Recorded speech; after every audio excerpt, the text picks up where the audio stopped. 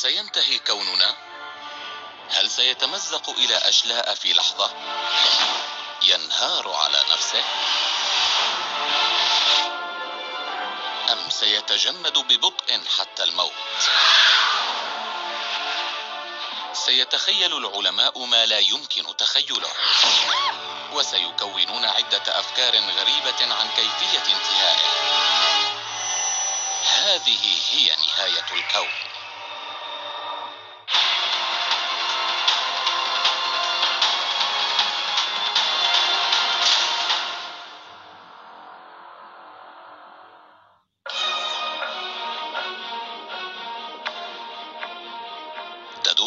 معركة في أقاصي الفضاء. لا أحد يراها ولكن العلماء متأكدون من أنها تجري وأن نتيجتها مريعة. سينتهي الكون. لن يتم الأمر قبل مليارات الأعوام ولكن لا مهرب منه. إن معرفة كيفية انتهائه هي تحد يواجه علماء الفيزياء الفلكي في العالم. وهم يوجهون معدات عالية التقنية إلى السماء لكشف مصيرنا. الاحتمالات مرعبة. أحد الاحتمالات. ستقوم الجاذبية بسحب الكون لينطبق على نفسه في وضع مشابه لإطلاق الهواء. من بالون منفوخ وسيعود الكون إلى حجمه الأصلي. هذا هو التحطم الكبير. ستكون نهاية الكون كرة كبيرة ملتهبة عندما تتقوض المادة على نفسها كلها بطريقة درامية. وهناك احتمال التجمد الكبير. سيتمدد الكون حين تنفد قدرة الأفران النووية التي تمد النجوم كلها بالطاقة. سيبرد الكون ويموت. هناك احتمال آخر وهو محزن نوعا ما. سيستمر الكون في التمدد إلى الأبد وسيصبح مكانا باردا جدا وموحشا باضطراد فالتمدد سيبعد عنا أقرب جيراننا وسينتهي بنا المطاف لنصبح مجتمعا منعزلا وحيدا من النجوم والمجرات. ومجددا لعل هناك نهاية أكثر وضوحا بحيث يتمزق كل شيء إلى أشلاء وصولا إلى الذرة الأخيرة. تخيلوا بالونا مملوءا بقدر زائد من الهواء. سينفجر. إنه أكثر إثارة من التجمد الكبير ومدمر تماما كالتحطم الكبير. سيستمر الكون في التمدد ولكن بتسارع متواصل. وسيكون مضطردا بحيث إن تركيب الفراغ والزمن سيعجز عن الحفاظ على تماسك الكون. مهما يكن شكل النهاية ستكون خاتمة مؤثرة.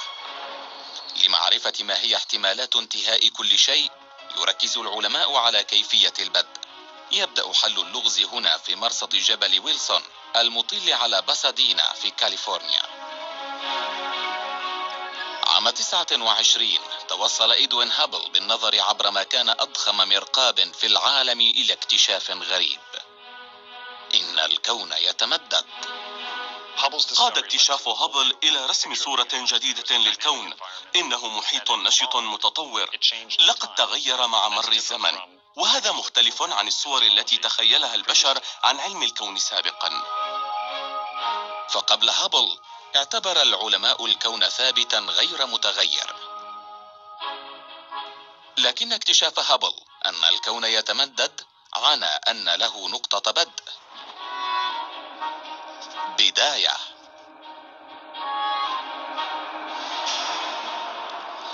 كان من شأن ذلك أن قدم فكرة.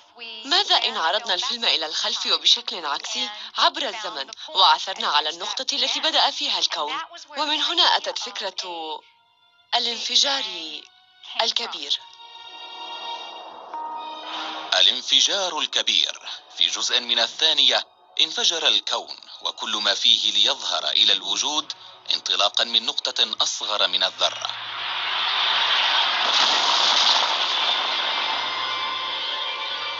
هناك خطأ شائع يتعلق بفكرة الانفجار الكبير وهو أنه يمكننا تحديد نقطة وقوعه في الفضاء. أما الأنسب فهو أن نعتبره بمثابة خلق متواكب متواصل التمدد في أرجاء الفضاء كلها.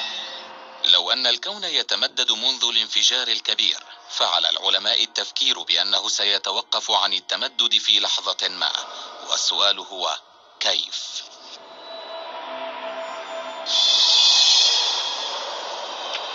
تتعلق الإجابة الأكثر وضوحا بالجاذبية فكل ما يعلو لا بد من أن ينخفض والنجوم والمجرات وكل شيء قد تعكس اتجاهها وينهار الكون فيما يسميه العلماء بالتحطم الكبير. لنرفع الغطاء لنرى المقبض ونباعد فيما بينهما. يوفر صاروخ نموذجي دلالات عن التحطم الكبير فالصاروخ كالكون وهو يتمدد في الفضاء منطلقا من الانفجار الكبير. هناك انفجار أولي يدفع الصاروخ رغم قوة الجاذبية. خمسة أربعة ثلاثة اثنان واحد.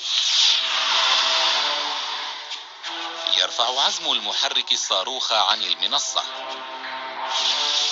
فيسرع مخترقا الهواء متحررا من قوة الجاذبية. كبداية.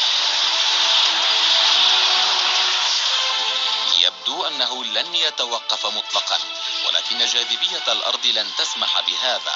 ففي مآل الأمر وعند نفاد الوقود يرتفع الصاروخ قرابة متر إضافي ثم يتوقف ويجذب إلى الأرض.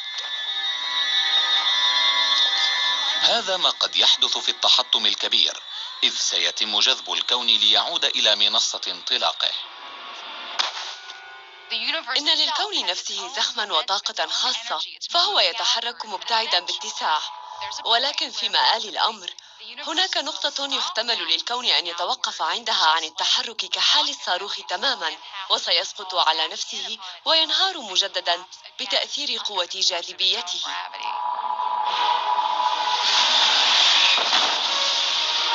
في هذا الاحتمال قد يعود الكون إلى وضعه الأصلي الذي سبق الانفجار الكبير متأرجحا بين الخلق والدمار.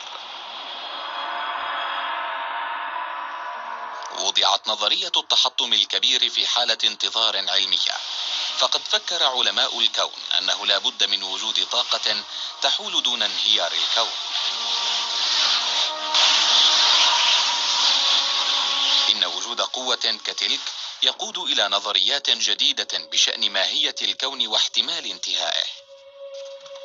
وقد عثر على دليل يبين كيفية احتمال حدوث ذلك في عدد من أقوى الظواهر في الكون وأكثرها غموضا الثقوب السوداء.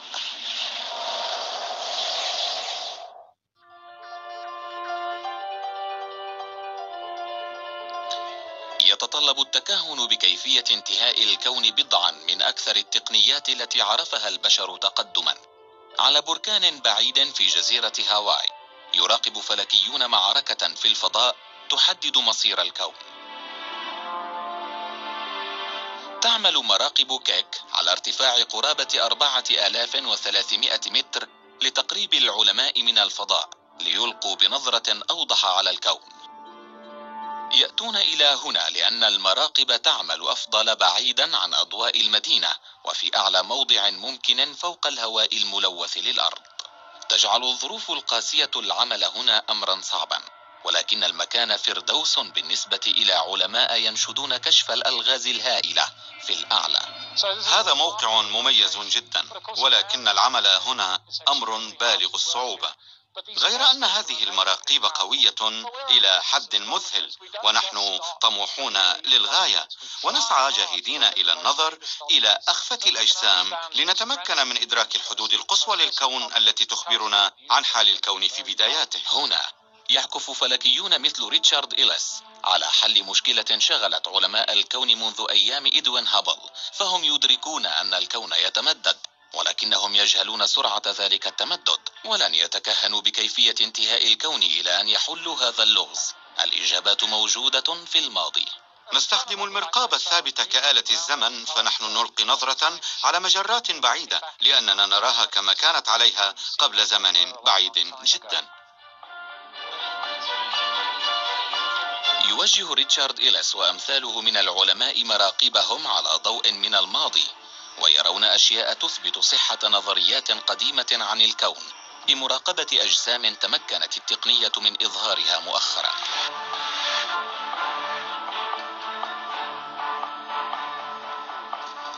وما اكتشفه الفلكيون هو أن أحد تكهنات أينشتاين تحديدا قد تكون المسؤولة عن نهاية الكون بالتحطم إذ قال أينشتاين إنه لا بد من وجود كتلة إضافية في الكون غير التي نراها فعلا متكهنا بوجود بقع لجاذبية خارقة غير مرئية لا ينفذ الضوء منها. وكشفت إحدى المجرات البعيدة التي اكتشفها الفلكيون مصدرا بالغ القوة للأشعة السينية لم يتمكنوا من رؤيته. لقد كان ضمن كوكبة الإوز ولم ينبعث منه أي ضوء. ولكن هناك شيء ما لأن ما يبعث تلك الأشعة السينية ذو كتلة توازي سبعة أضعاف كتلة شمسنا. لم يتمكنوا من تحديد اسم له فأسموه الثقب الأسود. وتوفر الثقوب السوداء للعلماء تمثيلا لكيفية عمل نظرية التحطم الكبير. عندما ينفد وقود نجوم معينة تنهار على نفسها وتصبح كتلة أصغر حجما وأعلى كثافة ويمكنها اجتذاب المزيد والمزيد من المادة تماما كالتحطم الكبير. إن قوة الجاذبية شديدة بحيث يتم احتباس كل ما يقترب من الثقب الأسود إلى الأبد وحتى الضوء لا يفلت منها. من الغريب أن شيئا غير مرئي سيوفر لنا إمكانية توقع مصيرنا النهائي. يمثل ورق القار هذا الفضاء. والفضاء يعتبر منبسطا نسبيا ولكنه ينحني عندما نضع جسما هائلا فيه. هذه قطعة نقود. لاحظوا كيف تتخذ مدارا دائريا ومبدئيا. لقد احتبسها الثقب الأسود ضمن مدار حول نفسها ويصبح ذلك المدار دائريا جدا كلما زاد اقترابها. وسوف تختفي قطعة النقود في النهاية. إذ ستدخل الثقب الأسود. ما يمكن قوله هو ماذا إن انهار كوننا على نفسه في مآل الأمر؟ ماذا إن أصبحت كل المادة في الكون كافية بحيث توقفه جاذبيا وتؤدي إلى انهياره في ثقب أسود هائل؟ فقد ننتهي إذا إلى فردية كبيرة واحدة في النهاية. هذا احتمال وارد إذا. لقد جئنا من فردية وقد نتجه إلى أخرى. وتلك طريقة تمكننا من النظر إلى الأمر عن كثب. إن الثقوب السوداء من نواح معينة ذات طبيعة فيزيائية مشابهة جدا لخواص بداية الكون. لذا قد تكون تلك نهايتنا. توجد الثقوب السوداء في مناطق منعزلة في أرجاء الكون وجاذبيتها عبارة عن نسخة مخففة من القوة التي يمكن أن تسبب انهيار الكون. تلك القوة هي المادة القاتمة والتي يسميها العلماء الغراء الكوني. مرحبا ماثيو. مرحبا. لنركز على علم الكون. المادة القاتمة تجتذب أجساما أخرى ويعتبر جذبها بفعل الجاذبية قوة إيجابية.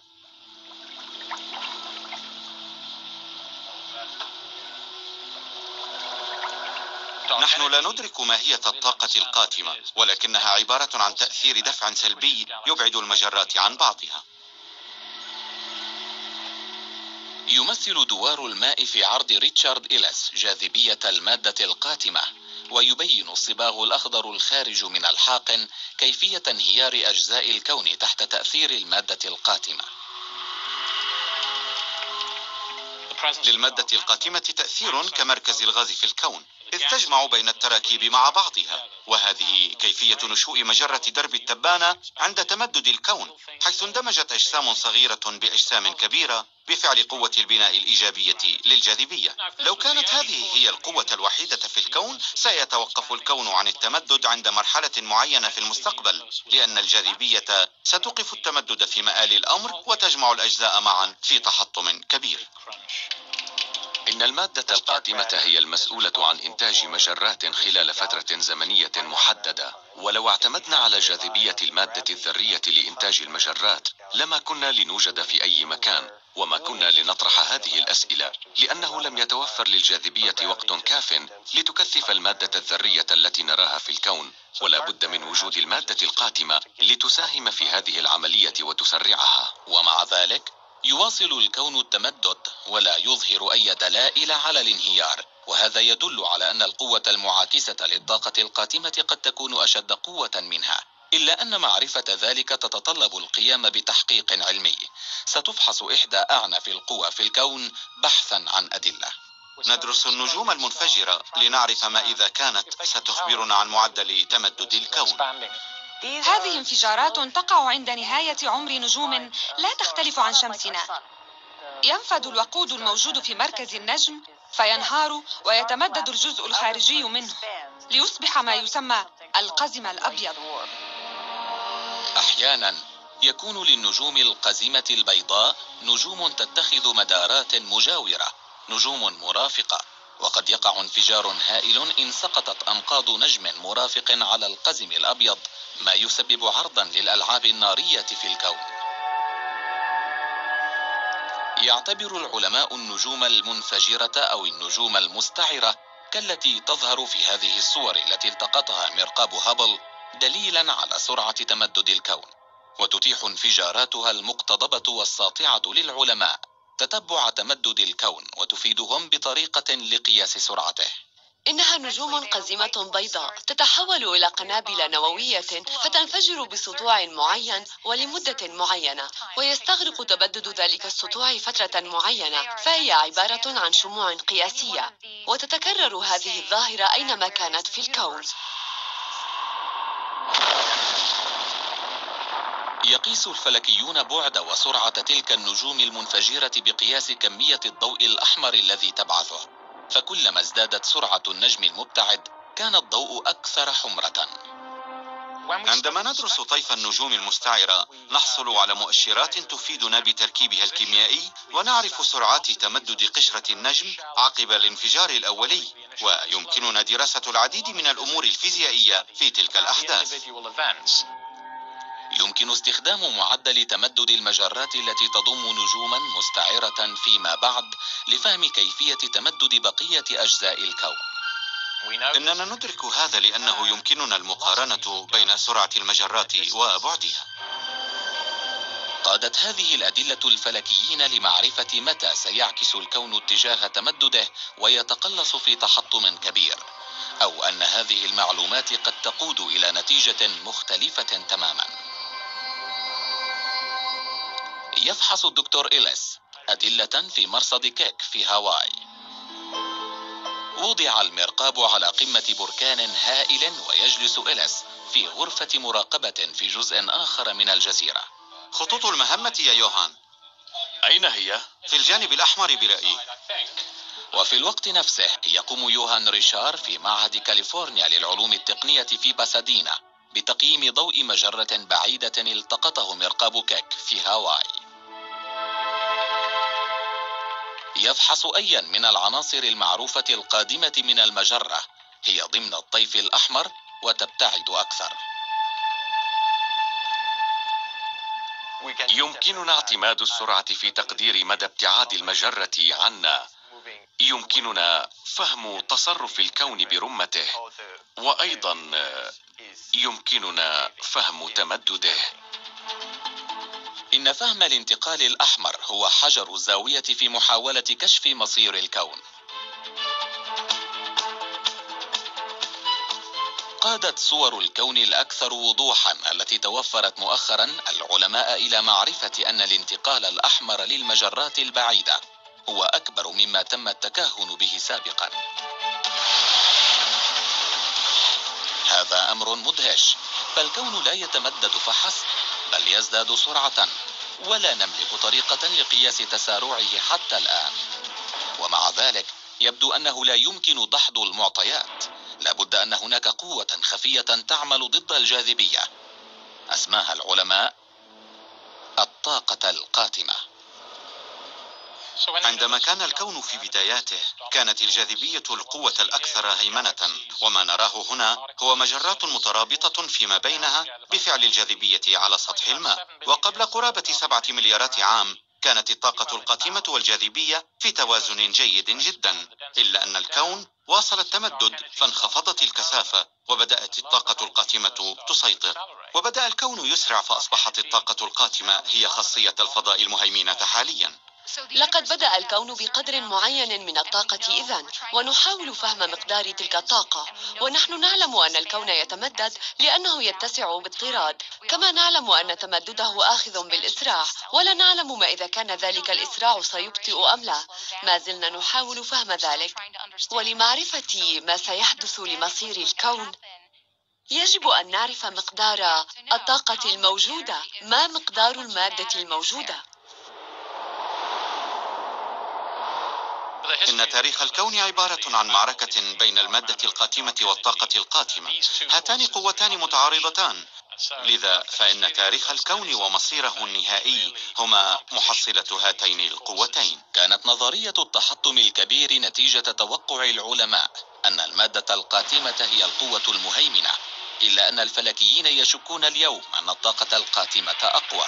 وفي تلك الحال فإن النهاية قد تكون مؤثرة وعنيفة. إنها تباعد ما بين منظومات شمسية ما بين نجوم وتغدو بالغة القوة لأنها تباعد ما بين المادة نفسها. فتقطع الترابط وتباعد الذرات وتفتت كل شيء إلى جزيئات أساسية وتلك هي نهاية الكون. إن المعركة بين المادة القاتمة التي تحافظ على تماسك الكون والطاقة القاتمة التي تنشد تمزيقه قد وضعت الكون على طريق الدمار. إذا انتصرت المادة القاتمة قد ينهار الكون وإذا سيطرت الطاقة القاتمة قد تمزقه إلى أشلاء. ستزداد قوة التمدد بحيث تمزق الكون برمته. سيكون انقلابا غريبا. فالطاقة القاتمة تلك القوة التي دفعت المادة إلى تشكيل كون هائل تواصل دفعه إلى التمدد وتقوده إلى فنائه. لمعرفة ما إذا كانت الطاقة القاتمة ستفوز في المعركة. ينبغي للعلماء أن يعرفوا سرعة تمدد الكون.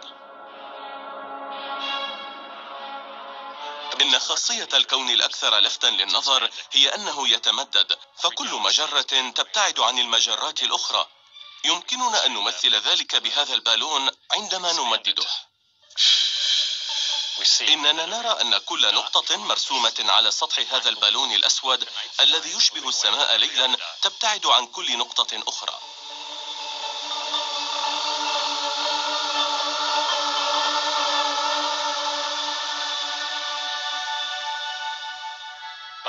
ولكن هناك أمر آخر نعرفه عن الكون. أمر آخر نعرفه عن التمدد هو أن ذلك التمدد يزداد سرعة. إن الكون يأخذ في الإسراع. إن حجم الكون يكبر بمعدل أسرع وأسرع. ونحن لا نعرف مدى سرعة إسراعه بالضبط. وإن كان يسرع بسرعة كافية فقد يحدث أمر مثير إذ قد ينتهي المطاف بالكون إلى تمزيق نفسه في التمزق الكبير. هذا ممتاز. رائع أنك ركبت هذا. فهذه نسخة عملاقة من عرضي التمثيلي. يجري الدكتور روبرت كولدويل تجربة ليبين كيف تؤثر الطاقة القاتمة في إسراع الكون باستخدام قاذف لكرات الطلاء مثبت على شاحنة.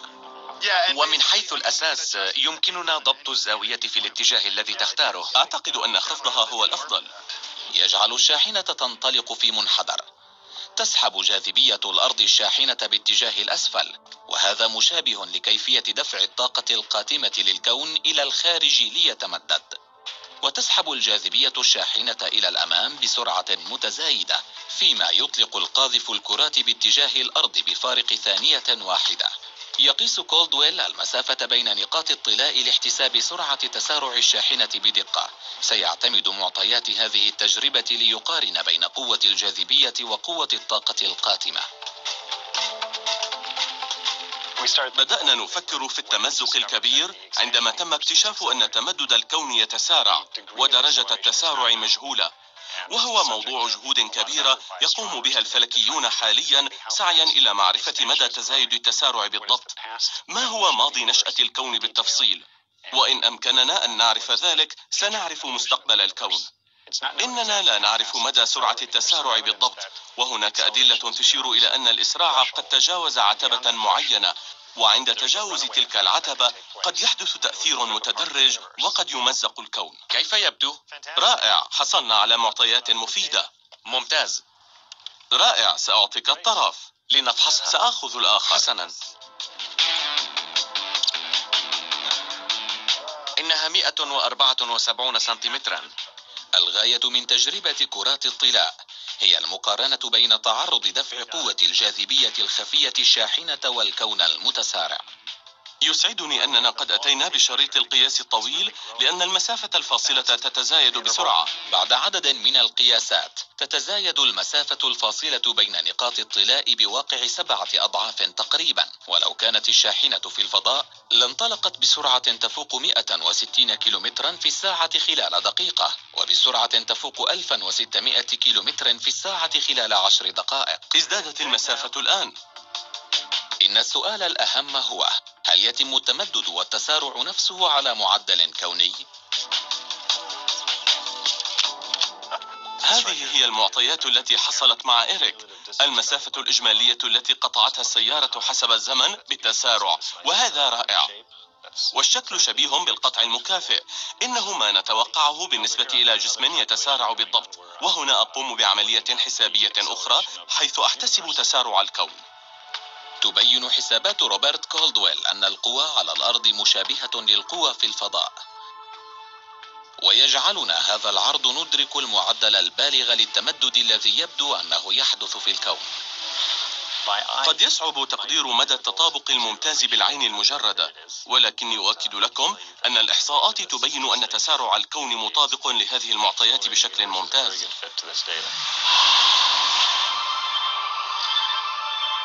إن كان الكون يتسارع باستمرار كحال الشاحنة فذلك يعني أن الكون قد يمزق نفسه بعد مليارات السنين.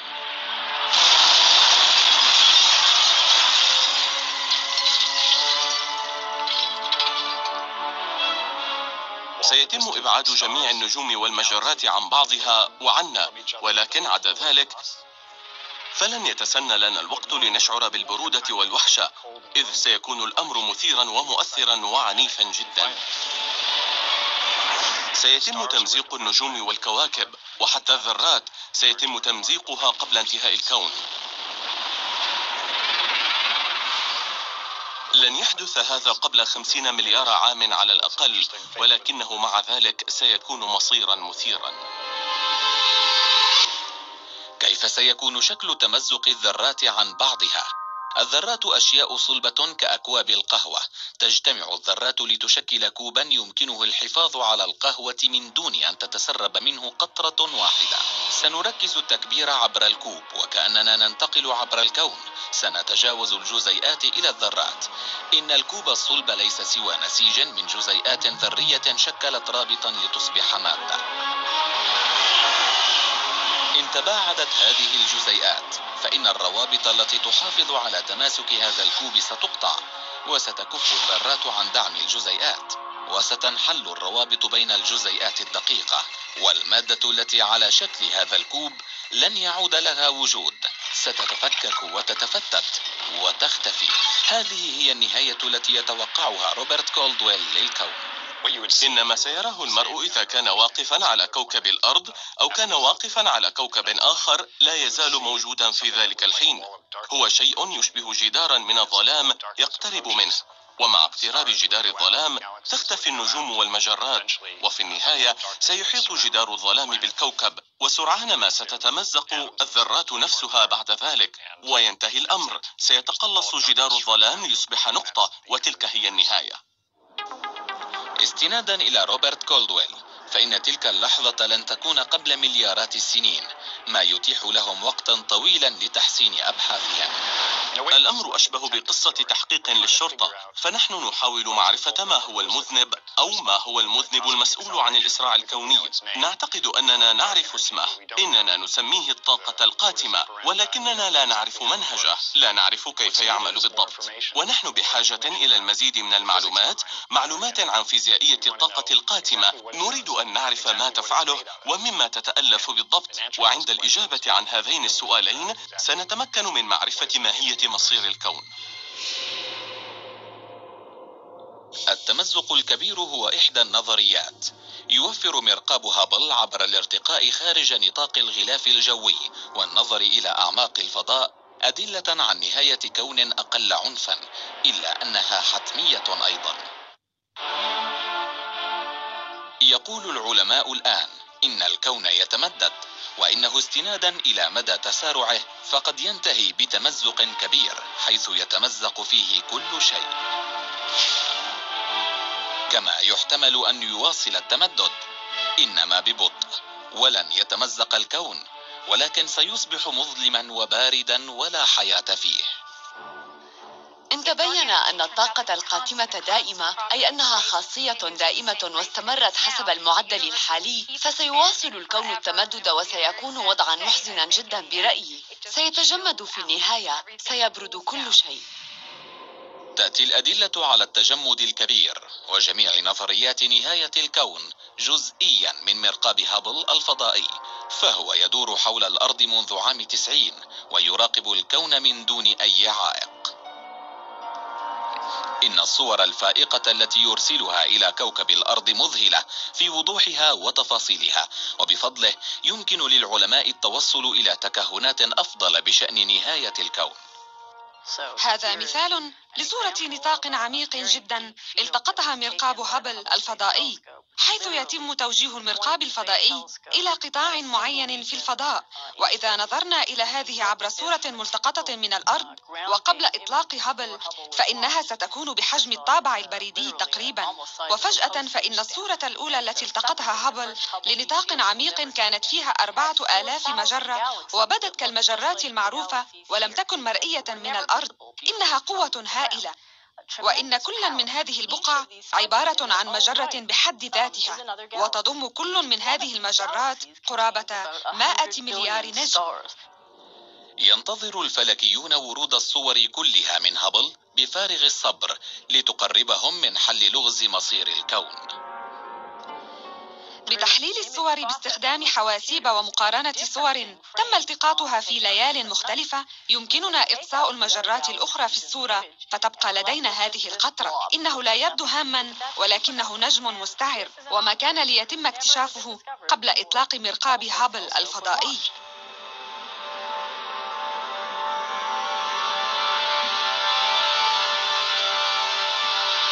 يرى هابل أكثر من مجرد نجوم ومجرات. قد يرى أحد مكونات الفضاء الهامة مكونا غير مرئيا قد يقضي على تأثير الطاقة القاتمة ويسبب تجمدا كبيرا المادة القاتمة. يتحدث العلماء عن المادة القاتمة على أنها المادة التي تحافظ على تماسك الكون ويمكنها منع وقوع تمزق كبير. وشوهدت أدلة تثبت وجود المادة القاتمة في عدد من صور هابل. تبدو وكأن هناك مجرات أخرى تحيط بالمجرات ولكن تلك المجرات الأخرى غير موجودة على الإطلاق بل هي عبارة عن انعكاسات لمجرات أبعد تأتي من الخلف. يشك الفلكيون في أن هذا الخداع البصري سببه أن المادة القاتمة تسبب تحريفا غريبا للضوء ويسمى بالعدسة المتأثرة بالجاذبية. ينحرف الضوء القادم من مجرات أبعد بفعل انحناء في الفضاء تسببه النجوم والمادة القاتمة في طريقها. كلما زادت كمية المادة القاتمة بين الأرض والمجرة انحرف الضوء أكثر واشتدت القوة التي تسبب التجمد الكبير. إن ظاهرة العدسة المتأثرة بالجاذبية أداة بالغة الأهمية لأنه يمكننا قياس الانحراف في مجرات خلفية واستخدامه في تتبع توزع المادة القاتمة على مستويات متنوعة. إننا ننظر إلى توزع مجرات مثالية في السماء. والضوء القادم من هذه المجرات البعيدة يتشكل عبر لفيف من المادة القاتمة وما نراه هو ليس الحقيقة. فنحن أشبه بمن يضع نظارات من دون أن يعرف. وإذا أمكننا تحديد قدر الانحناء الواقع فسنتمكن من تحديد توضع المادة القاتمة وسنعرف بشكل دقيق أنه إذا كانت هناك مادة قاتمة فهل يتصرف الكون المحيط بتلك المادة كما يجب بفعل الجاذبية أم لا؟ إن تحديد قوة الطاقة المهيمنة المادة القاتمة أم الطاقة القاتمة سيحدد ما إذا كان مصيرنا التجمد الكبير أم التمزق الكبير. بين أفضل دليل أن الطاقة القاتمة هي القوة الدافعة ولكن بأي قدر؟ يعتمد حل هذا اللغز على عثور الفلكيين على طرق لقياس سرعة تحرك الكون. من السهل تحديد سرعة حركة شيء ما على الأرض كالطائرة فهي قريبة نسبيا. يمكننا أن ننظر إليها ونحتسب سرعتها عبر تقدير المسافة التي تقطعها وتوقيت الزمن الذي تستغرقه في الانتقال. أما ضوء النجم فيمكن أن ينتقل ملايين أو مليارات السنين قبل أن نراه على الأرض. وعندما يصل ضوءه يكون النجم قد اختفى منذ زمن. كما أنه بعيد جدا بحيث لا يمكن احتساب سرعته أو المسافة التي قطعها بدقة. إن الكون يتمدد إلا أن العلماء لا يمكنهم تقديم إجابات دقيقة بشأن سرعته ويقترب اللغز من الحل بتصوير الكون بدقة أكبر. لم يكن في وسعنا مراقبة هذه المجرات قبل إطلاق مرقاب هابل الفضائي. وكان ازدياد مقدراتنا التقنية رائعا مؤخرا فقد مكننا من كشف بدء الكون بطريقة ما كنا نتخيلها. تسهل صور الفضاء الأوضح تقدير معدل التمدد. إذا استمر الكون في التمدد فمن المؤكد أن جميع مصادر الطاقة الأفران النووية والنجوم ستنفد وتموت ليصبح الكون باردا جدا وسيحدث التجمد الكبير. حسب نظرية التجمد الكبير سيصبح كوكب الأرض كوكبا موحشا وباردا مع تمدد الكون. فإذ تزداد المسافات بين النجوم كثيرا بحيث لا ترى ستنفد طاقاتها مع مرور الزمن. ويصبح الكون برمته في حالة تجمد. تلك أفكار نتجت من عمل كل من أينشتاين وهابل لكنهما لم يعيشا ليشهدا هذه النتائج.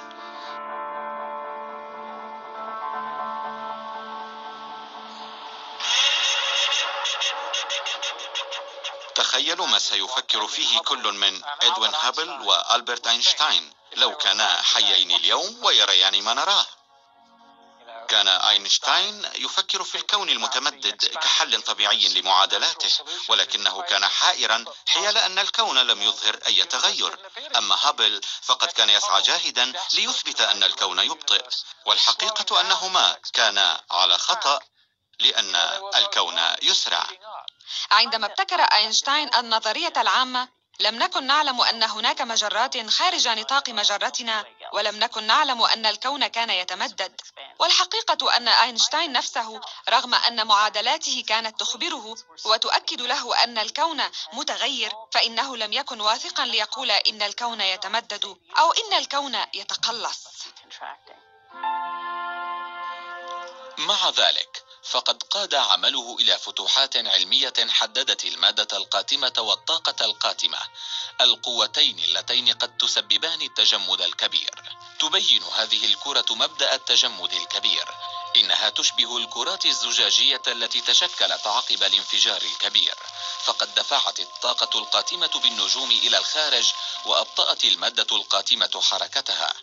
حسب نظرية التجمد الكبير فإن التمدد سيستمر إلا أن الوقود النووي الذي يشعل النجوم سينفد. من منظور الأرض فإن أول ما سيختفي هو نور الشمس فالشمس ستكمد وهي تستنزف وقودها وسيتجمد كوكب الأرض ويصبح عديم الحياة وبعد مليارات السنين من اختفاء البشر سيتمدد الكون خارج نطاق الرؤية. قد يبقى عدد قليل من النجوم الجديدة إلا أن معظمها سيكون قد ابتعد. ينفد وقود الفرن الذي يزود الكون بالطاقة.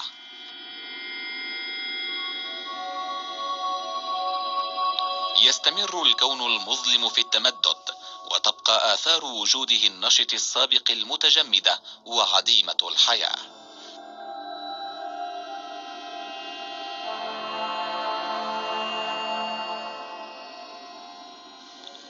إن استمر هذا الوضع ولم يتغير أي شيء في تركيبة كثافة هذه الطاقة سيستمر الكون في التمدد إلى الأبد سيزداد برودة وحتى المجرات المجاورة لنا ستنحسر عنا بسرعة بحيث لن نراها.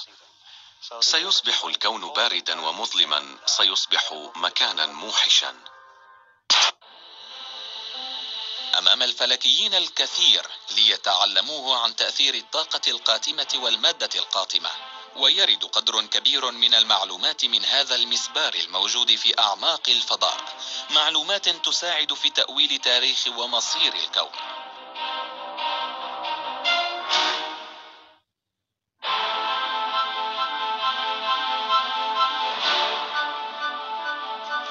السماء ليلا مكان هادئ ومسالم ظاهريا. أما في الحقيقة فإن هناك قوى تدفعه إلى النهاية.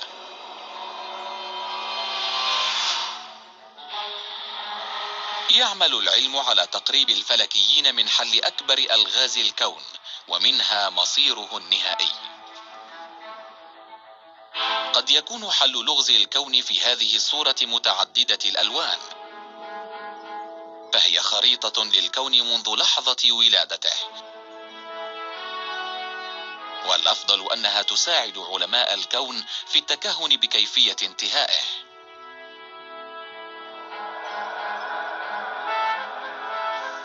تسمى الآلة التي التقطت هذه الصورة دبليو ماب وهي قمر اصطناعي لوكالة ناسا يعمل لرسم خريطة للكون.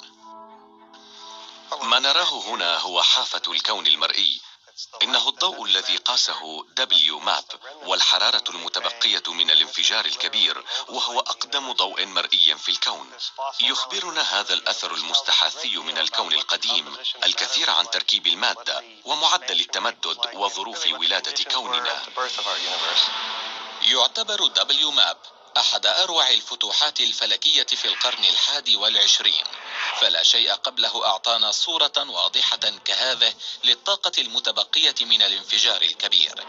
الطاقة المسماة بخلفية الأمواج الميكروية الكونية. يقيس دبليو ماب فروق درجة الحرارة في خلفية الأمواج الميكروية الكونية.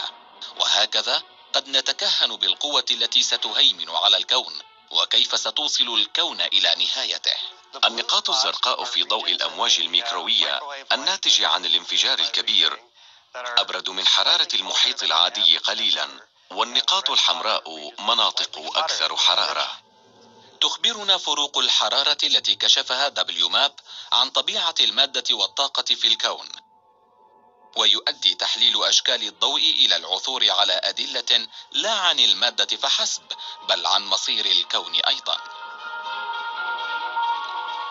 نرى بعيوننا جزءا ضئيلا من الطيف الكهرومغناطيسي وعلينا اعتماد موجات أطول كالموجات المستخدمة للتسخين في فرن أمواج ميكروية وهي ما نقيسه هنا باستخدام WMAP إن WMAP دقيق جدا بحيث يمكنه كشف فروق حرارية تصل جزءا واحدا من ألف جزء من الدرجة. وتساعد هذه الحساسية العالية بقياس نسبة المادة القاتمة للطاقة القاتمة القوتين اللتين ستحددان كيفية انتهاء الكون. نجمع القياسات المختلفة ونرسم خريطة توضح الاختلافات. وعبر رفع نسبة التباين يمكننا ومن حيث الأساس استخلاص هذا الوميض من الانفجار الكبير وبعد ذلك يمكننا تحديد الاختلاف. لا يظهر ما يلفت النظر إلا عند قيام جاري هينشو بضبط التباين. عندئذ تدب الحياة في صورة دبليو ماب والنظر إلى تلك الصورة أشبه برحلة إلى الماضي عبر الفضاء والزمن علنا نحصل على أفكار جديدة عن مصير الكون.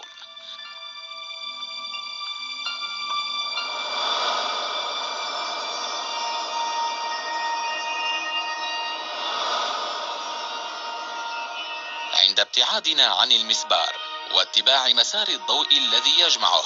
نمر بالمريخ والمشتري وزحل التي يستغرق الضوء المنعكس عنها أكثر من ساعة ليصل إلى الأرض.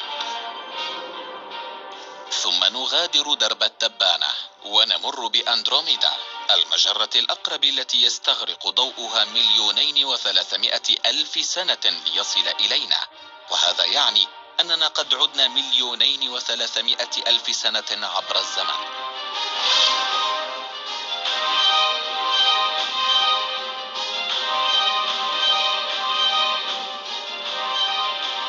وأخيرا نصل إلى ما قبل ثلاثة عشر مليار عام عند بداية الضوء المرئي. وقبل ذلك فقد كان غاز الهيدروجين بالغ السخونة في كل مكان. يمكن للدبليو ماب أن يرى حتى هذا التاريخ القديم. ويؤكد حقائق هامة عن الكون وما يدفعه إلى موته. يصبح التكهن بنهاية الكون أسهل بفضل الدبليو ماب فالمعلومات التي أرسلها إضافة إلى عمل الفلكيين قد قادت إلى عدد من الاكتشافات المذهلة عن كون سريع التمدد. فالتمدد السريع يدعم نظرية الطاقة القاتمة. واحتمال حدوث تجمد كبير أو تمزق كبير. نعلم الآن من المعطيات التي حصلنا عليها خلال العقد المنصرم أن الطاقة القاتمة تفوق المادة القاتمة بقدر الضعف لذا فإن الطاقة القاتمة هي شكل الطاقة المهيمنة في الكون. يبدو الدليل واضحا. الطاقة القاتمة هي المسيطرة وتقود الفلكيين إلى أفكار جديدة بشأن بداية ونهاية الكون. قبل اكتشاف الطاقة القاتمة كانت الأمور أكثر بساطة لأن تحديد مقدار المادة في الكون يمكننا من ذكر شيء عن مصيره النهائي لقد ولت أيام البساطة إلا أن الإثبات واضح أن الكون سيستمر بالتمدد فهل سيتمدد إلى ما لا نهاية؟ لقد قطعنا خطوات هائلة خلال القرن الماضي في معرفة شيء عن الكون وتمدده. لكننا نطرح أسئلة أكثر مما يمكننا الإجابة عنها وسوف يكون العقد القادم أكثر إثارة بكثير.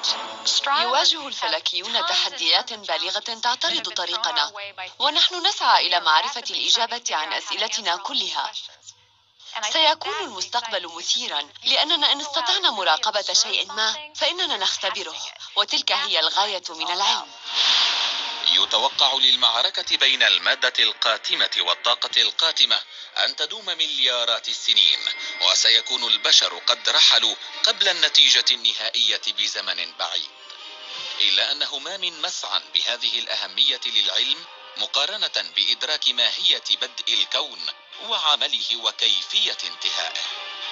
إنه مسعى أزلي يحث علم الفلك ليجيب عن الأسئلة الهامة مكونات الكون طبيعة المادة القاتمة وربما أكبر الألغاز ما هو مصير الكون النهائي؟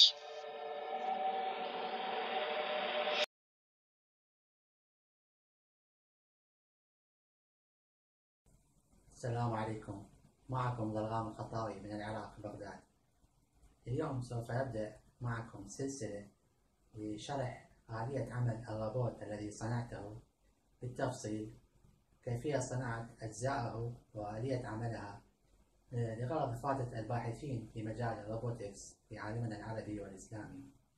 أرجو أن تنال هذه السلسلة رضاكم وأحب أشكر كافة التعليقات المشجعة والداعمين لي معنويا وأرجو أن يكون هذا المحتوى عند حسن ظنكم. إذا أرجو المتابعة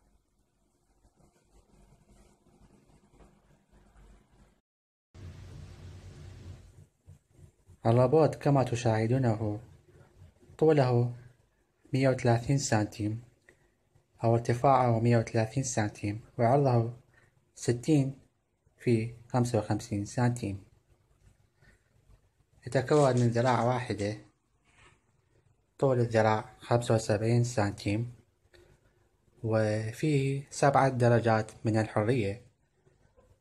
وفي علم الروبوتكس سبعة درجات معناتها سبعة مفاصل يستطيع الذراع الروبوتي أن يتحرك بها في محاور X و Y و Z.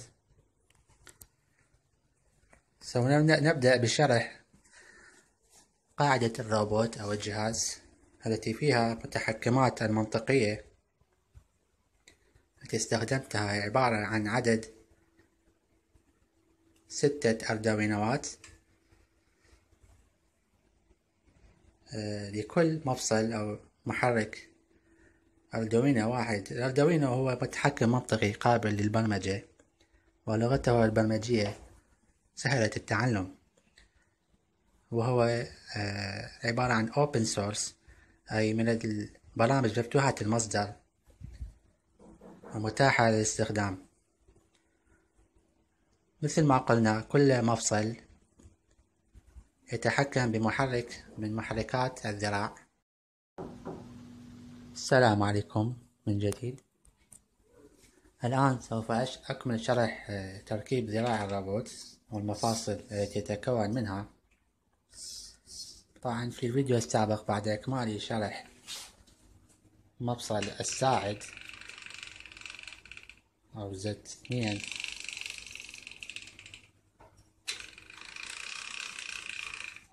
الآن سوف أقوم بشرح المفصل التالي وهو ما أسميه مفصل X الخاص بحركة القبضة بمحور X وهو مركب فوق آه، محور إخراج مفصل الساعد طبعا. تكون من servo MG تسعة تسعة خمسة بعزم يوفر عزم مقدارو اثنين ونص كيلوغرام سنتيمتر. طبعا هذا المحور لا يتحمل وزن كبير لأنه يدور بموازاة محور دوران السيرفو.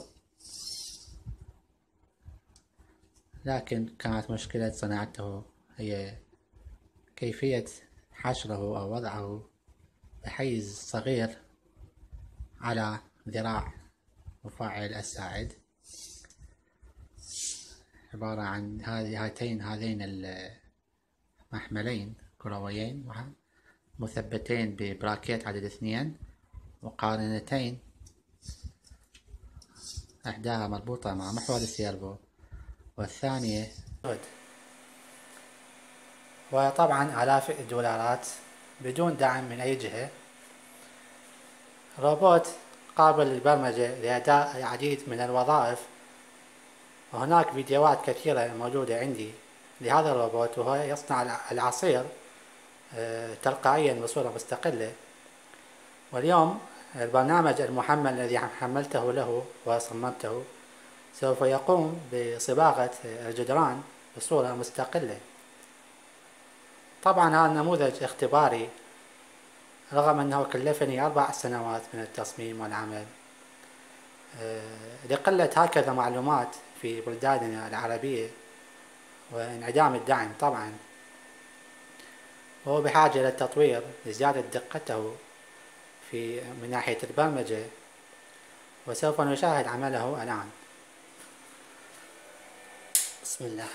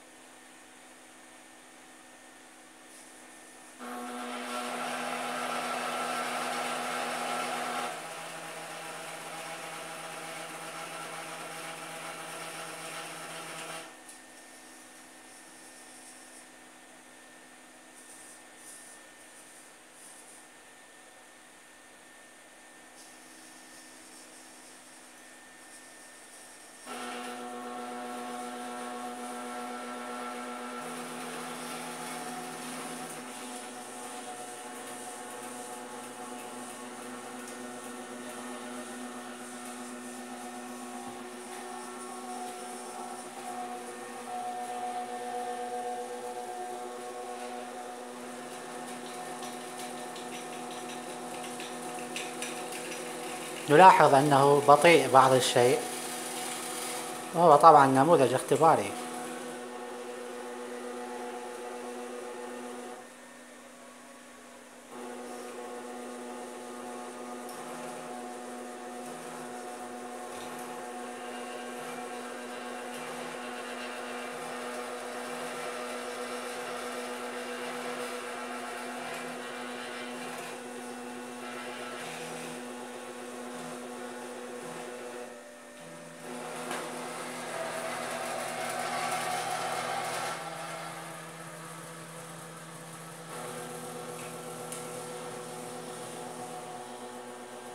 والآن سوف يبدأ بصباغة الصف الثاني.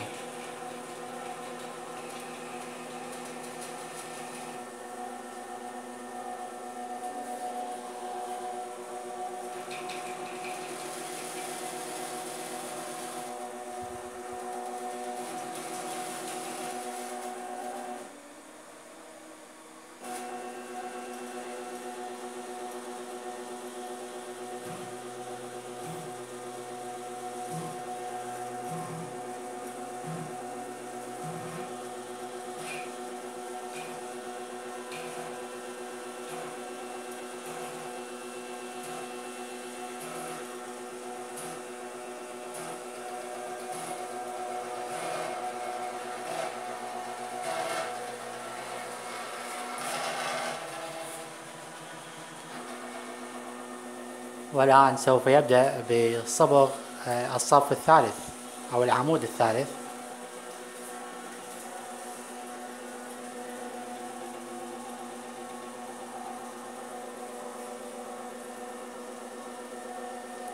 طبعا هو بطيء بطيء بعض الشيء لكنه ذكي وفيه بعض الدقة.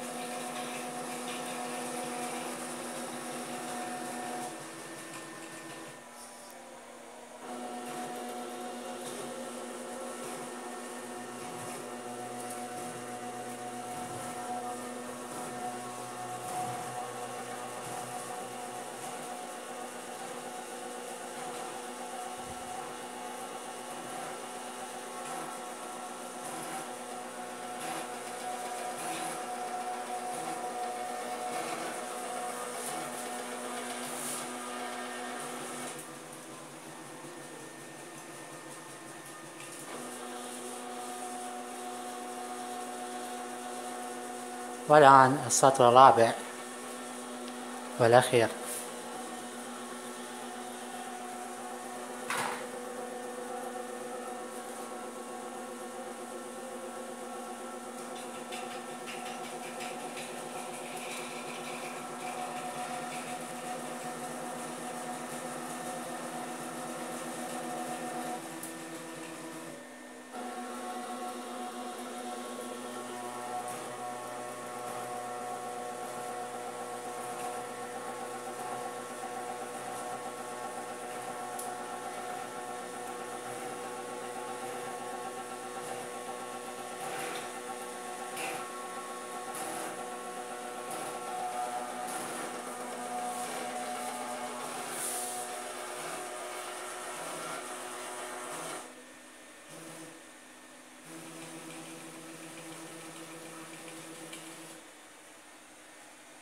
طبعا إلى حد هنا توقف البرنامج.